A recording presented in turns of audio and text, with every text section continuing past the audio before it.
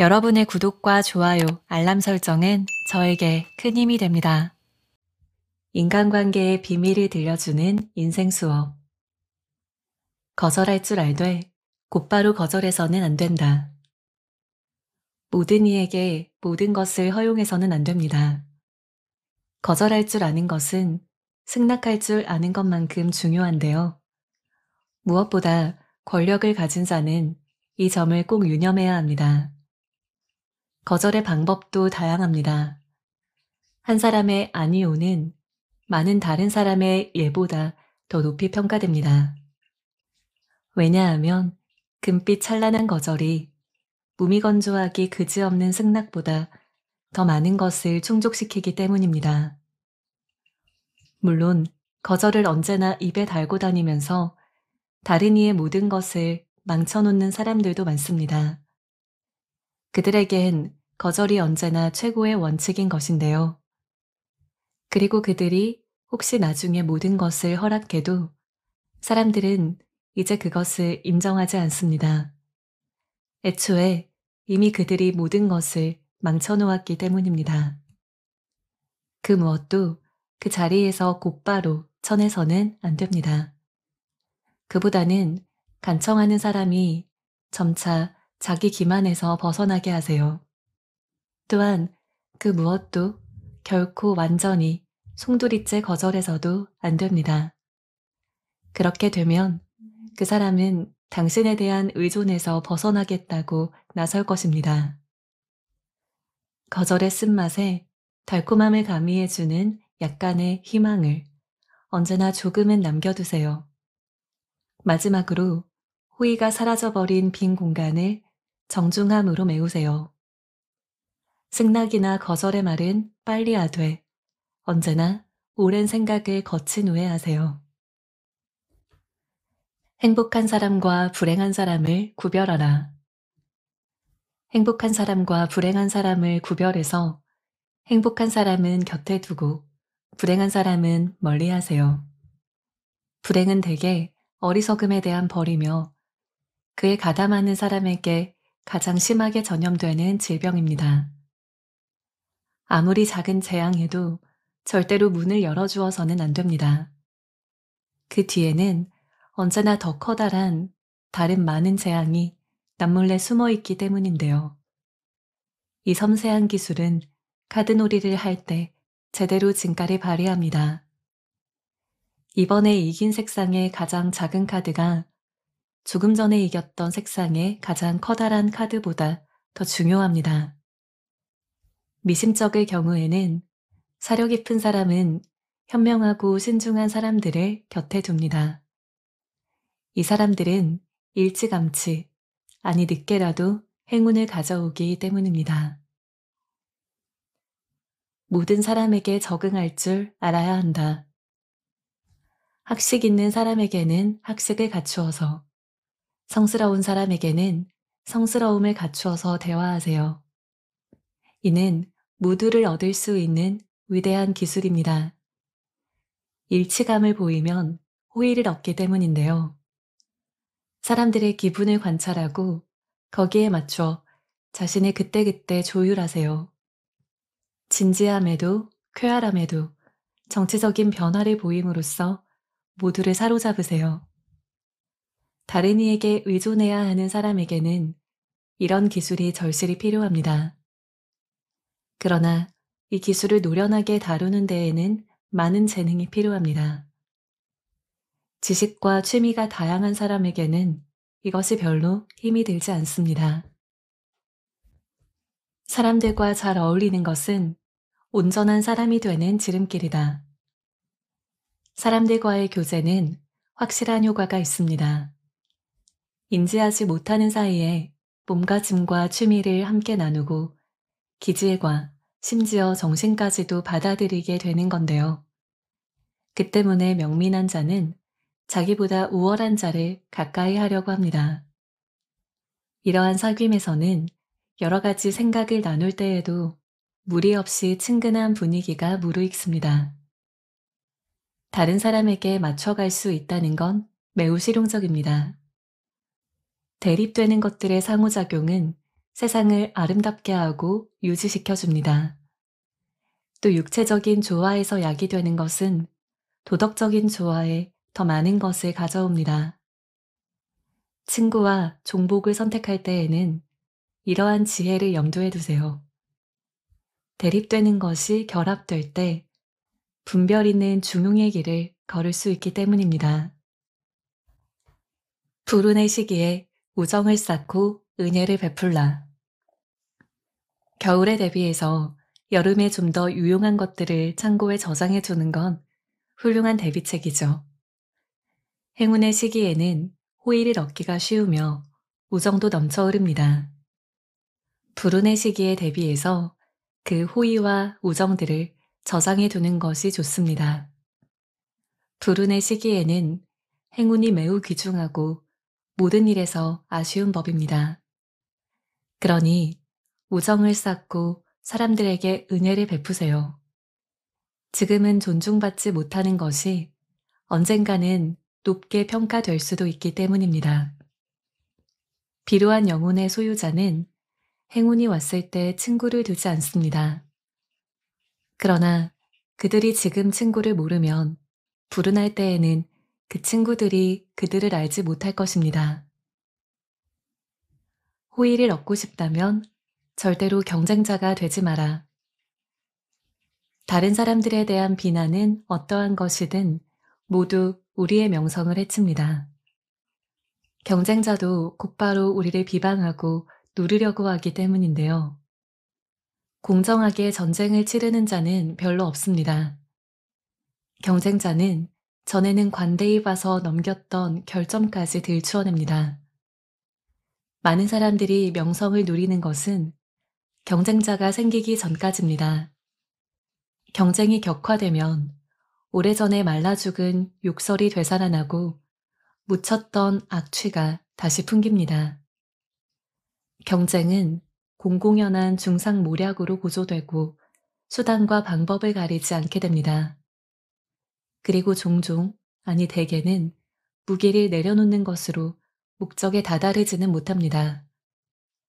적어도 그러한 무기를 통해서 적들은 복수라는 저열한 만족을 추구하며 그로써 치욕스러운 과거의 사건들에서 공기 중에 먼지라도 떨어뜨리게 만듭니다. 언제나 호의 있는 자들은 평화로웠고 명망과 명성이 있는 자들은 호의적이었습니다. 지인들의 결점에 반드시 익숙해져야 한다. 지인들의 결점에 익숙해지세요. 그들의 끔찍한 얼굴에 대해서도 마찬가지입니다. 그들과 가까이 지내야 한다면 이건 어쩔 수 없는 것입니다. 결코 함께할 수 없는 끔찍한 성격을 가지고 있지만 없어서는 안 되는 사람들이 있습니다. 그렇다면 추한 얼굴에 점차 익숙해지듯이 그들의 성격에도 적응하는 것이 현명합니다. 그래야만 아주 무서운 일이 닥치더라도 평정심을 유지할 수 있습니다. 물론 처음에는 경악할 것입니다. 그러나 점차 혐오스러움은 사라질 것이며 신중하게 생각하면 불쾌함을 미리 막거나 견뎌낼 수도 있을 것입니다. 반감을 불러일으키지 말고 미움을 사지 마라. 반감을 불러일으키지 마세요. 많은 사람들은 이유나 근거도 없이 제멋대로 미움을 품습니다. 그들의 악감정은 우리의 호의를 앞지릅니다. 본능적인 미움의 감정은 다른 이에게 피해를 주는데 강력하고 빠르게 작용합니다. 본능적인 열정으로 자기 자신의 이익을 취할 때보다 더 강력하고 더욱 빠르게. 어떤 이들은 모든 수단을 동원해서 최악의 일을 하려고까지 합니다. 그건 그들이 권태감을 느끼고 있거나 아니면 악행으로 인해서 흥분을 느끼기 때문입니다. 미움이 한번 뿌리를 내리면 나쁜 평판처럼 그 미움도 근절하기가 어렵습니다. 불손한 자는 혐오감을 불러오고 조소를 일삼는 자는 불쾌감을 주며 별난 사람은 무시를 당합니다. 그러니 존경을 얻으려면 남을 존경하고 또 존중받는 것을 소중히 여기세요. 재능이 많을수록 잘난 척 하지 마라. 재능이 많을수록 더욱 잘난 척 하지 마세요. 그러한 일이야말로 가장 저열하고 볼품없는 것입니다. 잘난 척은 다른 이들에게 역겨움을 가져오고 고통스럽게 만듭니다. 그런 일을 당하는 사람은 잘난 척 하는 것을 신중하게 들어줘야 하는 순교자로서 하나하나 주목해줘야 하는 고문을 당하는 것이기 때문입니다. 뛰어난 재능은 잘난 척으로 인해서 그 공로가 사그러집니다. 자연스럽게 보이지 않고 인위적인 기술로 강요된 것처럼 보이기 때문인데요. 어느 곳에서나 인위적인 것보다는 자연적인 것이 더 호감을 받습니다. 자신이 가진 장점들을 잘난 척 하면 할수록 그 사람은 더 낯설게 느껴집니다. 일을 잘 처리할수록 그에 들인 노고를 감춰야 합니다. 그래야 그 완전성이 천성에서 나온 것으로 느껴집니다. 또한 잘난 척 하는 것에 대한 두려움으로 인해서 잘난 척하지 않음을 잘난 척하는 상황에도 빠지지 않도록 해야 할 것입니다. 지혜로운 사람은 자신의 장점을 남이 알게 하지 않습니다. 스스로의 장점에 주목하지 않으면 다른 이가 알아서 그것에 주목할 것입니다. 완전성을 지니고 있지만 그것을 마음에 두지 않으면 두 배로 위대해집니다. 그는 정반대의 길을 걸어 찬사라는 목적지에 도달하는 것입니다. 혼자 현명하기보다는 모두와 함께 바보가 되어라. 혼자 현명하기보다는 모두와 함께 바보가 되는 편이 낫다. 정략적인 사람은 그렇게 말합니다. 모두가 바보라면 아무도 그 누군가보다 더 못하지 않기 때문인데요. 그리고 현명한 자가 단 한 명 있다면 그가 바보로 간주될 것입니다. 그렇기에 흐름을 따르는 것이 중요합니다. 무지한 자들과 지혜를 가장하는 자들 사이에는 때로 위대한 현자가 섞여 있습니다. 우리는 다른 사람들과 어울려 살아가야 하며 대다수의 사람들은 무지합니다. 홀로 살려면 신이 되거나 아니면 아예 짐승이 되어야 합니다. 그래서 나는 앞서의 격언을 이렇게 바꾸고 싶습니다. 홀로 바보가 되기보다는 모두 함께 신중해져라. 망상 속에서 홀로 독창성을 추구하는 사람들도 있습니다. 당신에게 그늘을 들이울 사람과는 어울리지 마라. 당신에게 그늘을 들이울 사람과는 절대로 어울리지 마세요. 당신의 위에 있거나 당신의 아래에 서 있음으로써 당신에게 그림자를 들이울 수 있습니다. 장점이 더 많은 자가 더 큰 존경을 받습니다. 다른 이가 주연을 맡게 되면 우리는 언제나 조연을 맡게 되어 있습니다. 우리 자신의 가치를 높게 평가받을 수 있는 기회를 조금은 남겨두세요. 밤하늘의 달은 오직 별들 사이에 있을 때에만 빛이 납니다. 태양이 뜨면 달은 나타나지 않거나 보이지 않습니다. 그러니 당신을 그늘로 가릴 사람과 어울리지 말고 당신을 돋보이게 하는 사람과 사귀세요. 그런 식으로 파불라도 자신의 아름다움을 눈에 띄게 했습니다. 수행하는 시녀들을 못생긴 이들로 고르고 그들에게 추한 옷을 입게 했던 것입니다. 그렇다고 나쁜 친구들과 어울려서 위험에 빠지거나 자신의 명성을 희생하면서 그들에게 영예를 주지도 마세요. 아직 일이 진행 중에 있다면 탁월한 자와 어울리세요. 그러나 이미 성공했다면 평범한 사람들과 어울리세요. 좀처럼 다가가기 어려운 사람이 되지 마라. 그 누구도 완벽하지 않기 때문에 때로는 다른 이의 생각이 필요합니다. 그 누구의 생각도 듣지 않으려는 사람은 치유 불능의 어리석은 자인데요. 제 아무리 뛰어난 자라도 우정어린 충고에는 귀를 기울여야 합니다. 모든 것에 마음의 문을 닫아 구제할 길이 없는 사람들이 있습니다. 그런 사람들에게는 아무도 가까이 다가가지 않고 멀어지려고만 하기 때문에 파멸로 치닫습니다. 아무리 탁월한 자라도 우정에는 문을 열어야 합니다. 벗이라면 아무런 주저 없이 충고하고 비난할 자유가 있어야 합니다. 이러한 권위가 주어질 때 벗은 당신에게 만족할 것이며 당신의 충실함과 분별 있음을 찬양할 것입니다. 그러나 모든 이에게 쉽게 배려와 신뢰를 주지는 마세요. 우리의 은밀한 내면에는 충실한 거울이 있어서 옳은 것을 가리키고 오류에서 구해주는 믿을 만한 자를 구분해서 그에게 감사할 수 있도록 해줍니다. 친구는 스스로 선택하라.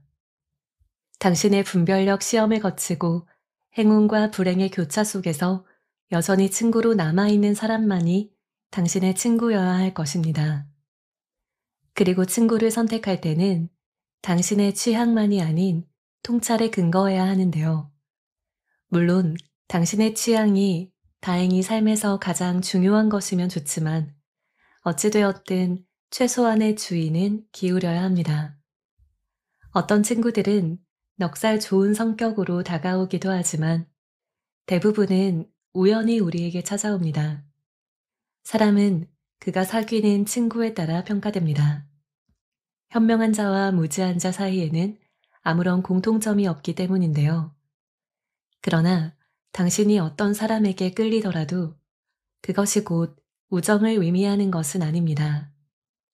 이건 그 사람의 능력에 대한 신뢰라기보다는 그와 나누는 대화로 인한 잠깐의 즐거움일 수 있기 때문입니다. 진실한 우정과 진실하지 못한 우정이 있습니다. 진실한 우정은 훌륭한 생각과 행동의 결실이며 흥겨운 것입니다. 이런 친구를 가진 사람은 많지 않으며 대부분의 사람들은 이걸 운에 맡깁니다. 친구 한 명의 건실한 통찰은 다른 많은 이의 호의보다 더 쓸모가 있습니다.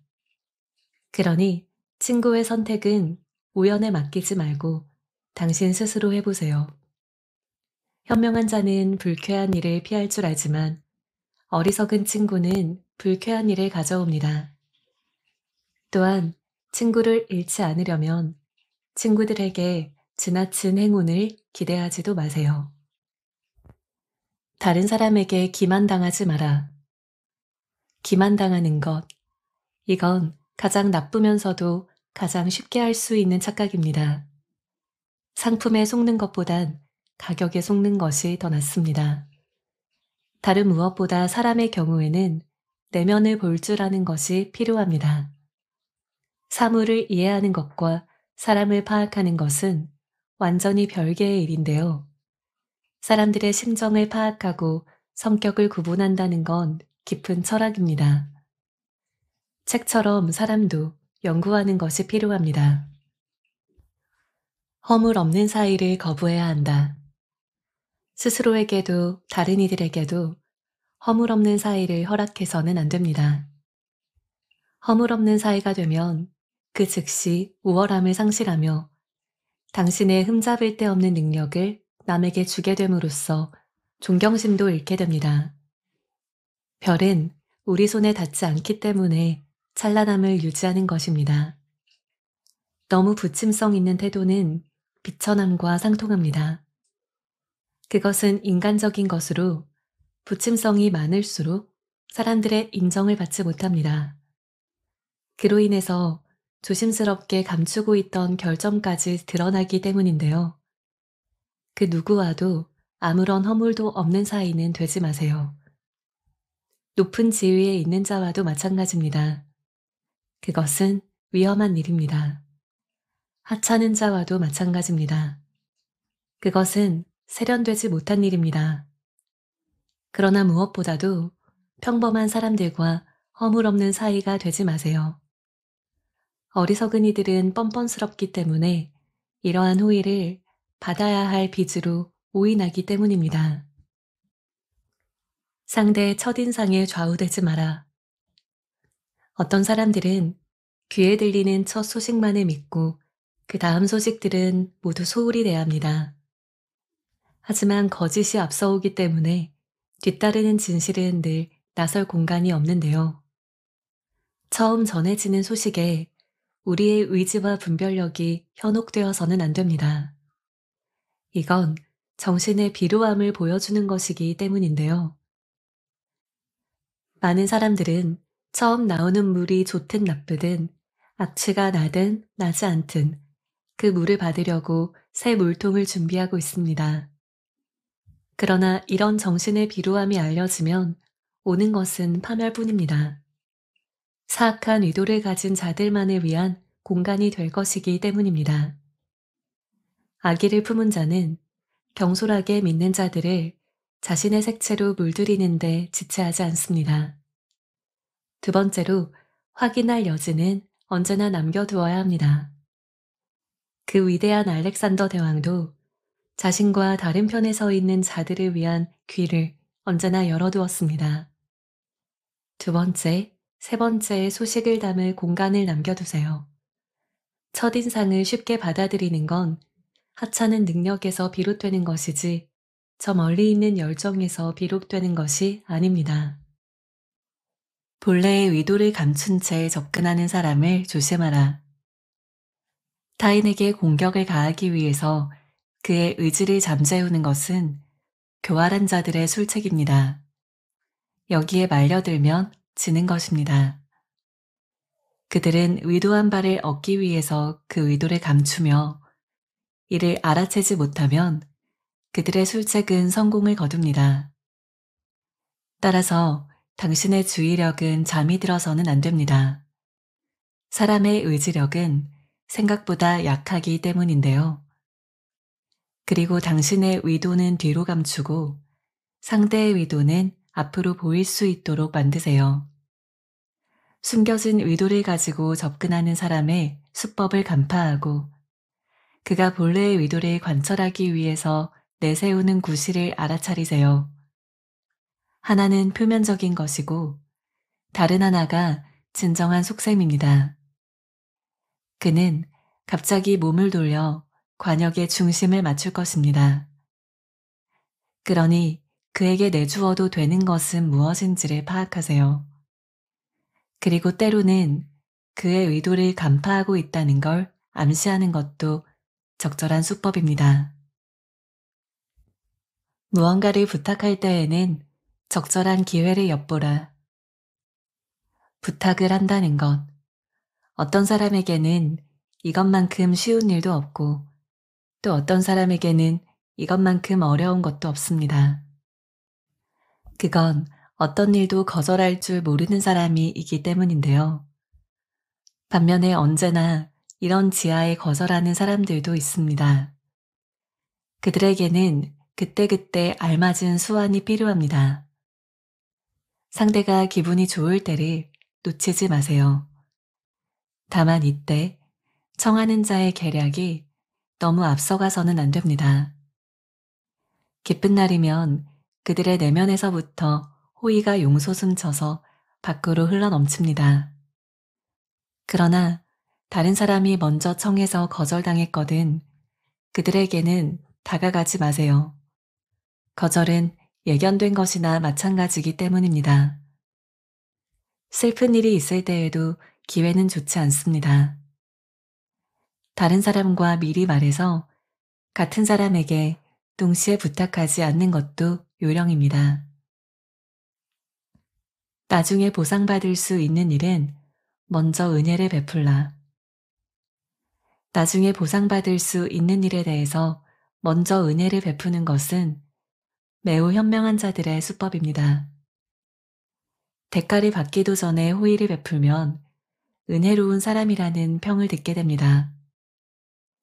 이렇게 미리 베풀어진 호의는 두 가지의 이점이 있습니다. 첫째, 베푼 자의 신속함이 받은 자의 고마움을 가중시킵니다. 둘째, 이렇게 베풀어진 호의는 후에 갚아야 한다는 의무감을 지웁니다. 이건 서로 호의를 나누는 세련된 방식인데요. 은혜를 입은 자는 은혜를 갚으려고 할 것이기 때문입니다. 그러나 천박한 마음을 가진 자에게 미리 은혜를 베풀면 그것은 고비가 될 뿐 박차가 되지는 않습니다. 좋은 일을 행하되 한꺼번에 다 행하지는 마라. 좋은 일을 행할 줄 알되 한꺼번에 다 행하기보다는 조금씩 자주 행하세요.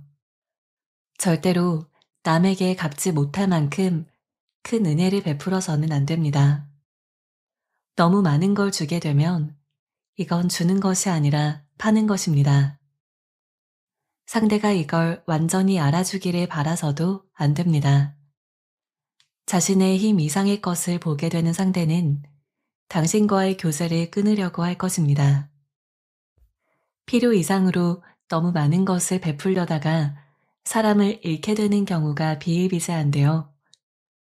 지나친 은혜를 입은 자는 이걸 갚기가 어려워서 몸을 움츠리고 마침내 베푼 자를 적으로 삼을 것입니다. 바보는 자신을 만든 조각가를 보고 싶어 하지 않고 빚을 진 자는 자신에게 선행을 베푼 자를 눈앞에 보려고 하지 않습니다. 남에게 무언가를 줄 때는 상대가 원하되 부담은 적은 것을 주어서 호의와 존경을 얻으세요. 우리는 서로를 완전히 소유할 수 없음을 알자. 친척이든 친구든 또는 대단한 호의를 주고받은 사이든 모두 마찬가지입니다. 온전히 신뢰하는 것과 좋아하는 건 서로 완전히 별개의 것이기 때문인데요. 제 아무리 가까운 관계에서도 비밀은 있으며 이것이 지켜지지 않으면 우정의 법칙은 깨집니다. 친구도 자신만의 비밀은 있는 법이며 아들이 아버지에게 말할 수 없는 일도 있습니다. 어떤 일은 누군가에게는 숨기고 누군가에게는 알릴 수도 있습니다. 모든 것을 알리고 모든 것을 감출 수도 있습니다. 다만 그때마다 어떤 사실을 알리거나 숨길 대상을 적절하게 구분해야 합니다. 남에게 신세지는 것을 가급적 피해라. 그 누구에게도 모든 것을 신세지지 말 것이며 절대로 모든 사람에게 다 조금씩 신세지지도 마세요. 그렇지 않으면 모든 사람의 노예가 될 것입니다. 어떤 이들은 행복을 안고 태어나지만 어떤 이들은 행복을 안고 태어나는 사람들에게 좋은 일을 하고자 태어납니다. 그들이 그렇게 하는 건 그의 행복을 자신들이 받아내기 위해서인데요. 자유는 사람들이 그토록 목매는 선물보다도 더 소중합니다. 많은 이가 당신에게 의존하는 것에 가치를 두기보다는 당신이 아무에게도 의존하지 않는 것에 더 큰 가치를 두어보세요. 아픈 내 손가락을 남들에게 보이지 마라. 아픈 손가락을 남들에게 보이면 모두가 그곳을 찌를 것입니다. 그 손가락이 아프다고 하소연하지 마세요. 아기를 품은 자는 언제나 약한 곳을 건드리기 때문인데요. 당신의 노여움은 적의 즐거움을 더해줄 뿐 도움이 되지는 않습니다. 나쁜 의도를 품은 자는 드러날 수도 있는 결함을 찾아서 늘 주의를 맴돕니다. 채찍으로 때리면서 민감한 부위가 어디인지 확인하며 상처가 발견될 때까지 수천 번을 시도합니다. 신중한 자는 절대로 자신의 상처를 보이지 않으며 개인적인 불행 혹은 타고난 불행을 절대로 발설하지 않습니다. 운명조차도 때로는 우리의 가장 아픈 상처를 건드릴 때 즐거움을 느낍니다. 운명의 매질은 언제나 상처를 노립니다.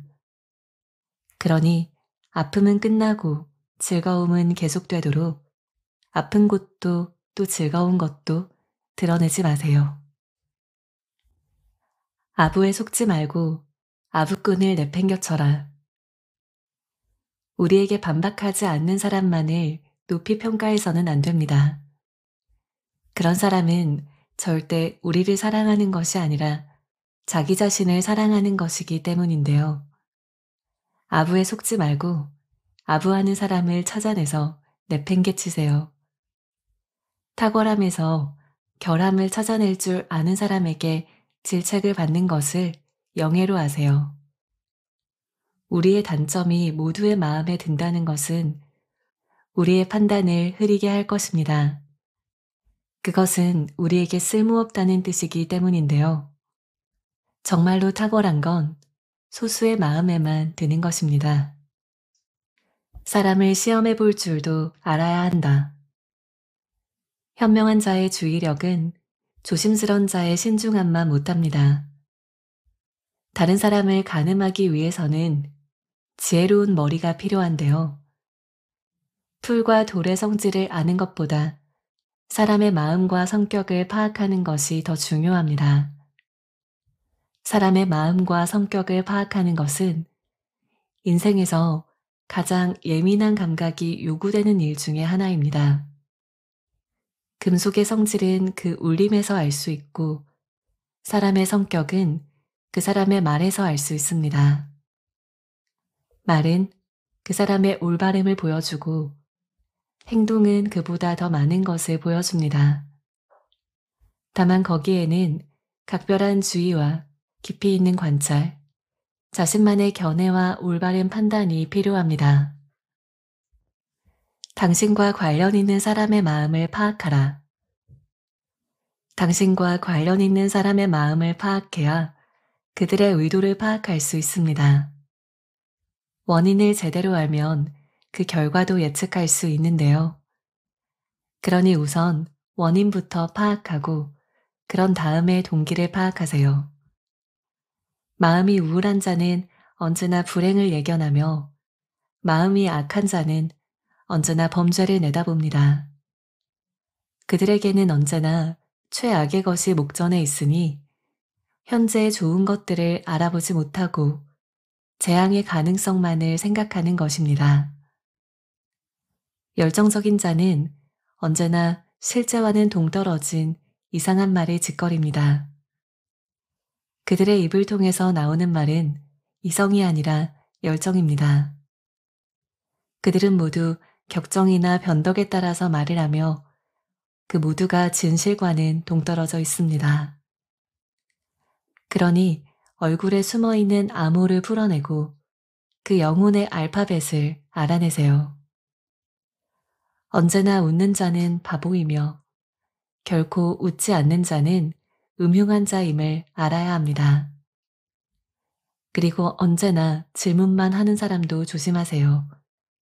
경솔한 자가 아니라 염탐꾼이기 때문입니다. 추한 몰골을 하고 있는 사람에게서 좋은 것을 기대하지 마세요.